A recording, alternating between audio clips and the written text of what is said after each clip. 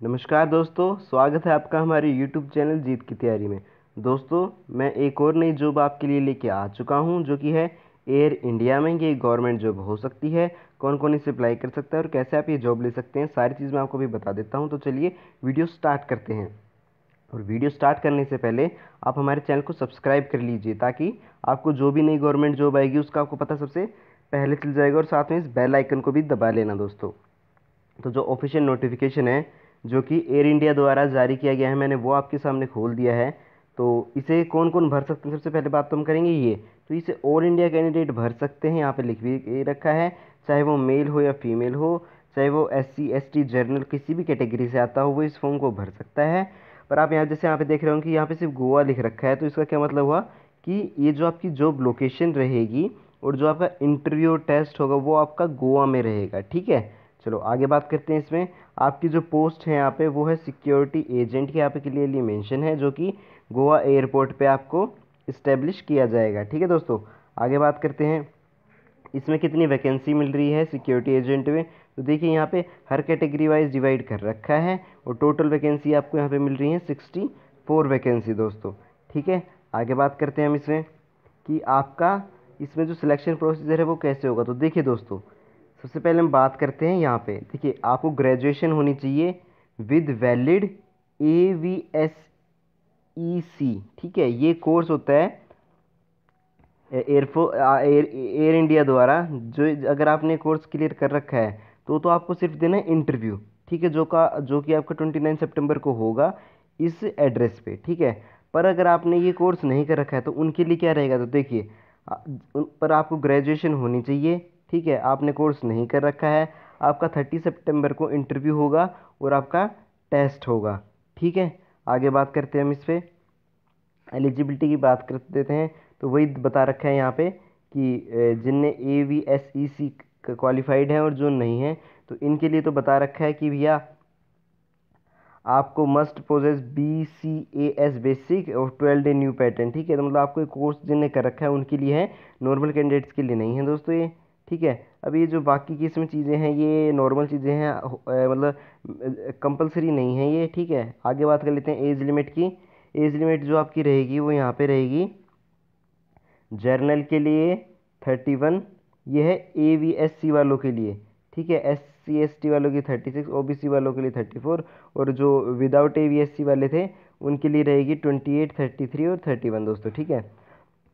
और जिनों के पास ये कोर्स की सर्टिफिकेट है, उनके लिए ना ही फ़िज़िकल होगा, ना ही कोई रिटर्न एग्ज़ाम होगा और सिर्फ़ एक सिर्फ़ पर्सनल इंटरव्यू करा जाएगा, ठीक है?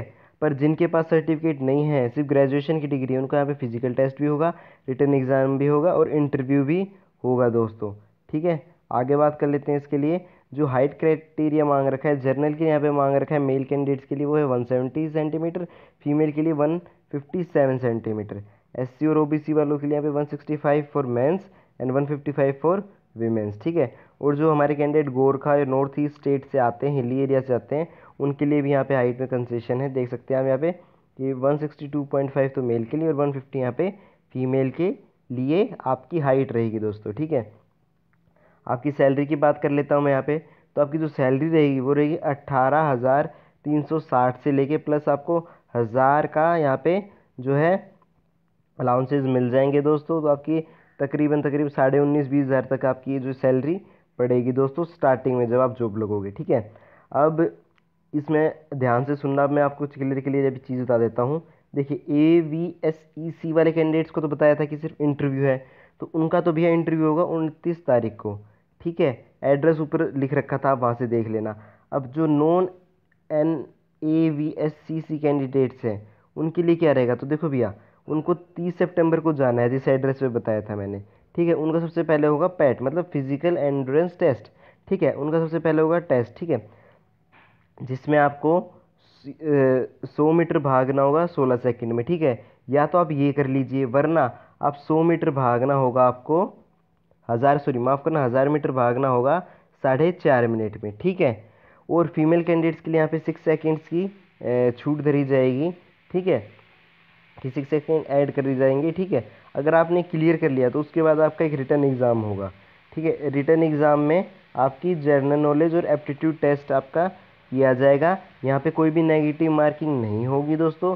तो मैं तो कहूँगा, इस जॉब को देखने ज़रूर जाना। काफ़ी अच्छी जॉब है, मिल गई तो भी है, क्या बल्ले बल्ले हो सकती है, ठीक है?